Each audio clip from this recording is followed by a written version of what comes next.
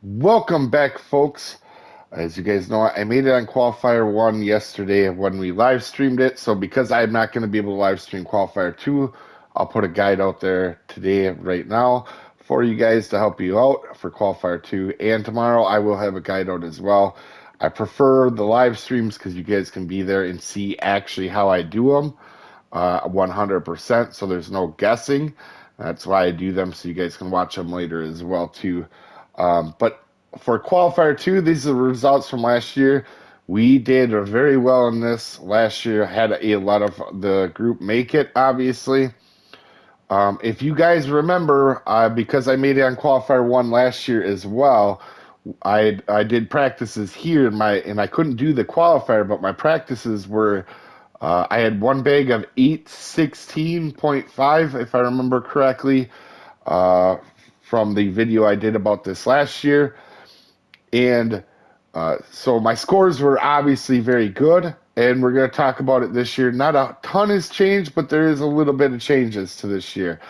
Uh, but last year, you can see what the scores were to kind of get an idea. Now, these aren't going to be apples to apples be, across platforms, but you can still use what I'm going to tell you today on all platforms, including uh, we had the biggest fish as well. Shaq had a great fish, and in practice, I actually had uh, last year as well is a 102. They do get oversized here. That's why I bring that up, guys.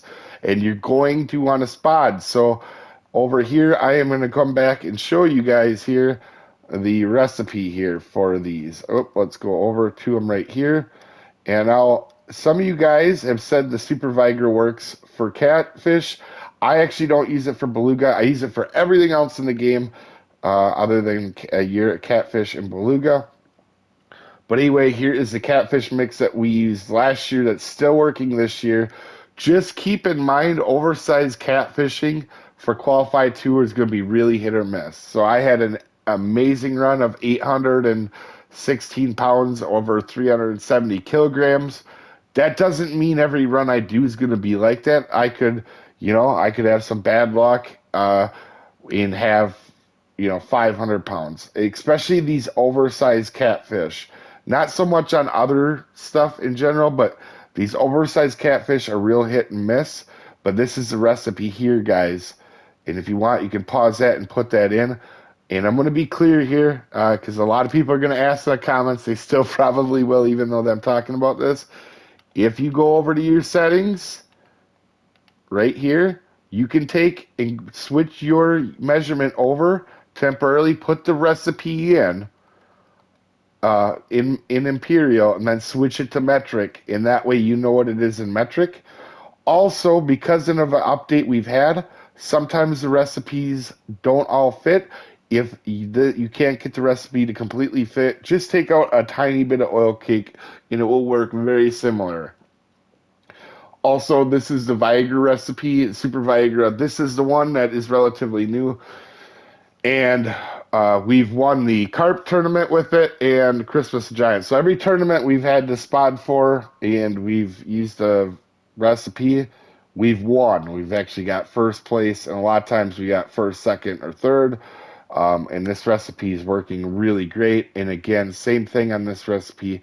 If you can't quite fit it in, uh, take just a tiny bit of oil cake or pee out till it works for you. Uh, there was an update for you guys that don't know that seemed to have changed this. I have no problems putting this in, but if I were to make it new again now after the update, sometimes it gives me a little bit of issue. Um, so the what I am using here at Standard Baggersea is a 6.0 to start the comp and as you go in this tournament, in this qualifier, you're going to want to work your sizes down.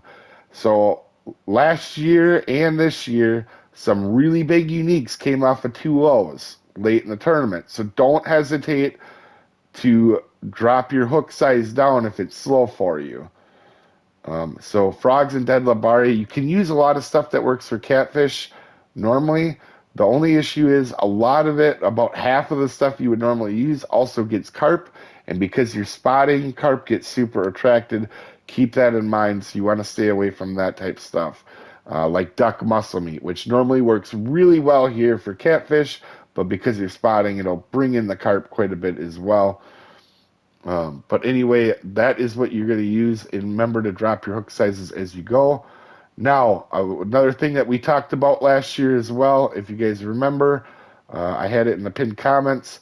Spod from your boat. You can use your boat in this tournament like we did last year.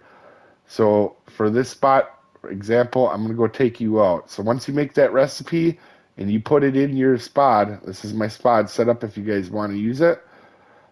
Uh, what you'll do is once you equip it to that, uh, you go out here, you go right next to your mark, you'll spod, and then you'll go back to shore. It'll save you a lot of time. If you don't, you'll be spodding for 10, 12 minutes. If you come real short, you'll be like six to eight minutes or something like that. And for the marks here, this is, we're going to spot one, and you don't want to take your boat to each one of them. Uh, but it is uh, 624, negative 6 or 567. You can pause these. I'm going to try to keep the video short here, guys, for you. Um, and also, if you want, you can spot them out. This is kind of something that can be a little tough and it's real risky, but you can don't have to spot all the way out. You can do it closer to shore if you want. Uh, you will get uniques, but the quality of them don't seem to be as good. Uh, that's spot one. Spot two is right here where we're at right now currently. Uh, a 10 or a 806, uh, negative 1171. And then spot three is over here. I will let you just uh, go ahead and pause if you need to for the marks.